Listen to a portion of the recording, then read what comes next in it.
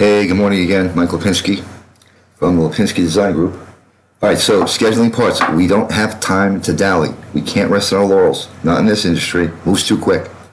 Okay, now, I'll try to stay at a reasonable pace for the benefit of you and I.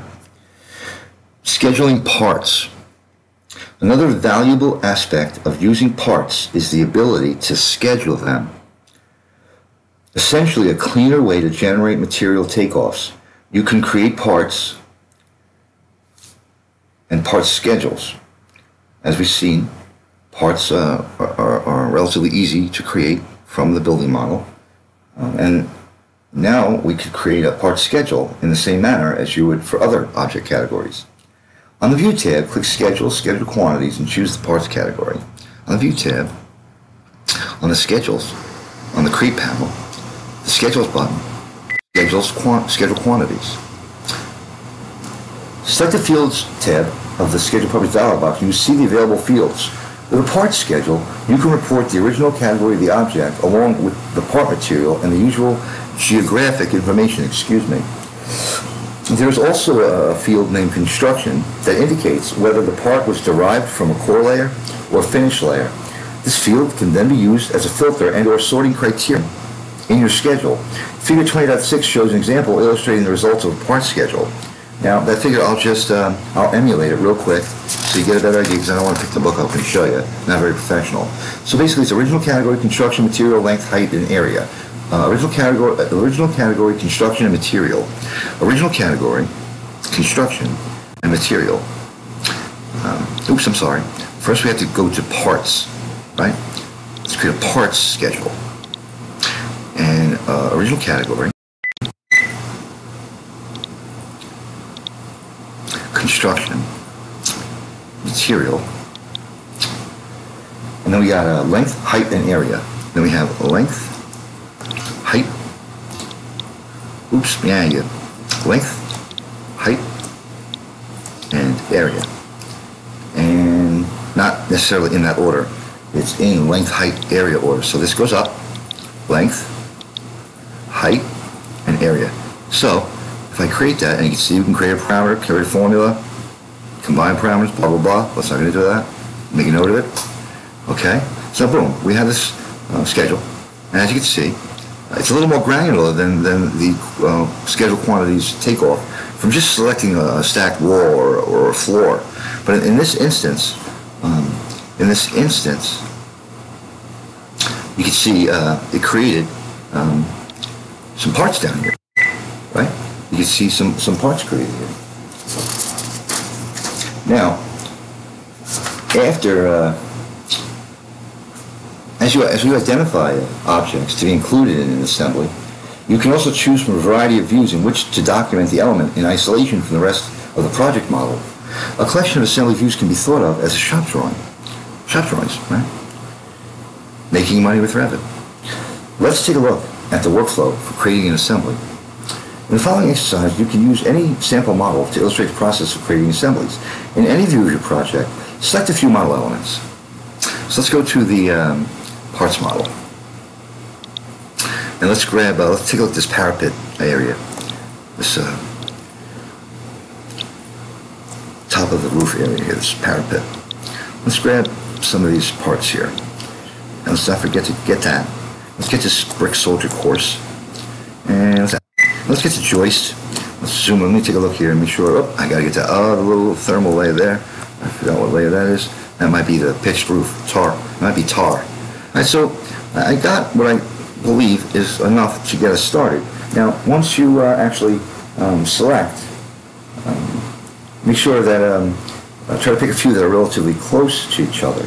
From the contextual tab in the ribbon, the contextual tab in the ribbon, click uh, Create Assembly. You'll be prompted to name the new assembly. Now, within the context of selecting those items, the contextual ribbon opened, and in the Create uh, ribbon, which actually exists in the Modify tab without actually selecting anything. Meaning you can select the tool first, then select the components, as opposed to selecting the components or elements and then selecting the tool. In this case, it's open anyway. It doesn't open within the context of selecting it. It's always open. in this case, um, I I made a mistake. So create assembly. Let's create assembly from that. And you see, it's prompting us for a name because we already have one created. This is the finished version of the model, not the start version. See 20 parts finished. Uh, So I wanted to maybe expedite this because we got to get, we got to get back into the field, right? In any event, all right, so phase five, phase four, we got to get back into it.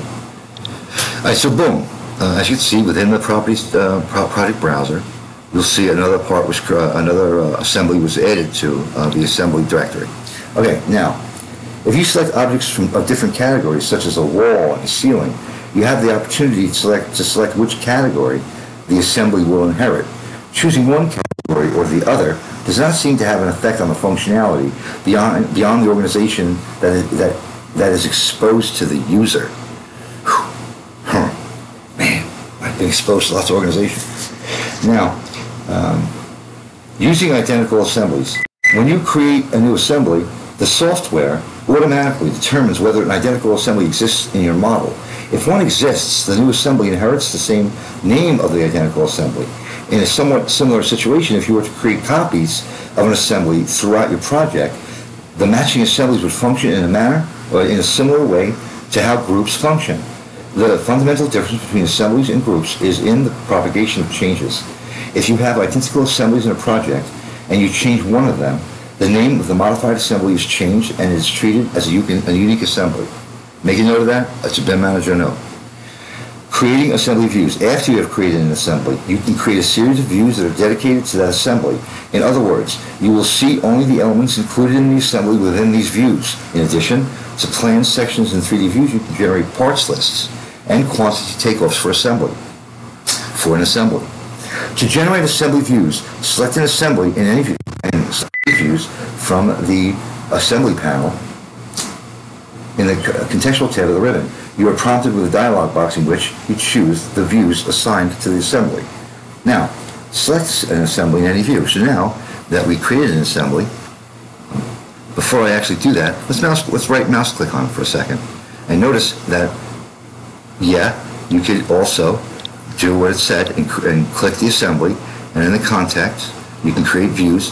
But again, this is uh, something that you can use on multiple tools. You can right mouse clicks, right mouse click in the project browser, and you'll see sometimes those commands become active as well. Because uh, it's relatively the same thing, just like anything else in Revit, it's bidirectional associativity. So, again, that uh, is, uh, is that. Now, uh, just a quick BIM manager's note for you. You might want to look at what happens when you select certain items and you uh, even are not in a command and what happens when you mouse click your mouse. You'll be able to do things a little quicker, right? Like um, you'll be able to, uh, and this is important to note, selection sets. You'll be able to select things a little quicker as opposed to plugging around, picking things one by one, and holding down shift and control and all that stuff. So just explore that. It's important. It's important. But it's Windows intuitive, so you'll, you'll get it. Um, anyone who knows anything about computers has a prerequisite in uh, computer application software should help, uh, should know. That's why I, I tell you now, not then. I'm going to tell you now, not later. All right, so, um, yeah, so once we click the assembly, we'll be able to create views from it, right? Within the con, now this one, within the context of selecting it, creates views, a parts list, a material takeoff, and a sheet for the selected assembly. You select the types of views you want, the desired scale, and title block information. The views are added to the project browser under the assembly type. Now, this particular tooltip shows us that, yeah, it's a most, uh, very good scenario. If you're going to create, if a mason is going to come in and create some ornate fireplace, then that's going to need to have its own expanded uh, view, right? Uh, and, and be isolated in the model so as to uh, really dig down deep into the nuts and bolts of what goes into making up that assembly. It can't, um, it can be very powerful. So create views. And as you can see, um, you can set the scale of the views and remember your scale factors. And I'm to go through them real quick because you know me. Watch the numbers. Two, four, six, eight. Who do we appreciate? Bears, Bears, go Bears. Right? Now, let's just leave it at that because we already have one for the assembly one. Um, but again, uh, it will include a title block, right? It will include a title block and you can assign a view template to it. Now, let's keep going. Before we do that, now, after you click OK, you will find the assemblies At the bottom of the project browser, under the assemblies grouping, you will find each assembly listed with all the associated views. So let's go back up to 24. And let's just hit OK. And boom, there they are. Now, it doesn't necessarily mean they're all arranged on the sheet, but they are there for you. Now, let's keep going. Now, they show a dialog box showing exactly what I just showed you. They also show another dialog box, pull out, or, or at least illustration here in the book, showing the what I just showed you. And then it, it concludes with a passage that goes uh, uh, um, like this. Although sections are automatically placed for the included elements, the individual views are not placed on the assembled sheet. To do this, activate the sheet within an assembly and then drag and drop the views onto the sheet. Note that assembly views can be used on non-assembly sheets. As- note that assembly views can be used on non-assembly sheets, and regular views can be placed on an assembly sheet. Very good. Um, an example compiled into an assembly sheet is shown in Figure 20.30, which I don't have, uh, can't show you here, but let's just see if Parts 1 was able to give us that. Uh, that uh, nope, they didn't. But what we could do, if we want, maybe we could drag it out, put one view over there, and we can go to uh, the, the schedule material takeoff. Maybe we can put that over here. It's a little tiny, but again, it is, it is what it is. Let's bring this one over here, parts list. Put that over here, and notice how the uh, the um, there's like a, a hidden dynamic snap line that allows you to to align. Ah, your sister, excuse me, align these uh, views up by all sorts of different uh, alignment uh, dynamic uh, T-squares, for lack of a better term. And again, when you are in the AutoCAD realm, you'll start to see a lot of these terms change, but they're the same. All right, now, I don't want to go too far into that. You get the point. You get the point. Um, I guess I could put in a, an elevation if I want, right? Let's drag in an elevation, get this a little more uh, concise. Um, uh, what else we got here? Elevation back, detail section A. Maybe we can grab that. I'm just I'm holding down the click button and dragging it over and then releasing the, the left mouse button when I get it here. And if you wait a few seconds, you'll see, boom, it aligns right up. And again, the, the beauty of this is um, goes beyond the realms of, of imagination. All right, so you can do this right? You can do this if you want to. If you don't, you don't. I'm not saying this is for everybody, but if you aspire uh, to do uh, this, you can do it. Now, the bottom line: add revisions to your project. You need the ability to track changes in your design after sheets have been issued. Issued to bid. Bulletin one. And Two. Adding revisions to a drawing is an inevitable part of your workflow. Master it. How do you indicate revisions on a drawing sheet? Use digital markups. DWFs provide a lightweight means to digitally transfer and mark up multiple sheets in a document set. Master it. Explain the workflow using DWF markups. Model for construction. Parts and assemblies allow a model element to be broken down into small parts. These sub-elements can be used in more detailed ways for the construction process while maintaining, or still maintaining, their association with the original element. Master it. Describe the method for breaking down a design-based model assembly uh, into its individual components. So there's some homework for you to do. Go back on the chapter, practice it, and we'll be good to go. Because now, the wonderful world of presenting your design. Now, um, keep your thinking caps on. They, that's the construction phase. Absolutely not. There's a lot more to that, right? There's a lot more to that. Again, but think about this. Not only are you going to be able to market yourself into the architectural or engineering realm, but you'll also be able to market yourself to the construction sector, right? And the manufacturing sector.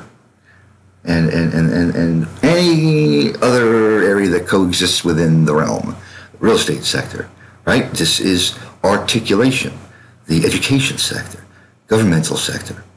Uh, it goes on and on and on. It goes on. It's limitless. It's the Da Vinci machine.